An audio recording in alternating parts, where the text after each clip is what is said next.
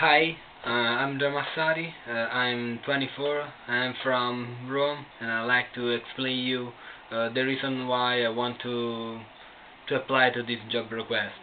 Uh, I'm an Italian surfer, but not the the surfer so hi dude, but something um, a person that want to to live the nature, live in an undiscovered nature, uh, far from cities and from all and I think that uh, this job is something that could uh, allow me to arrive to a dream uh, to live in this uh, in this context.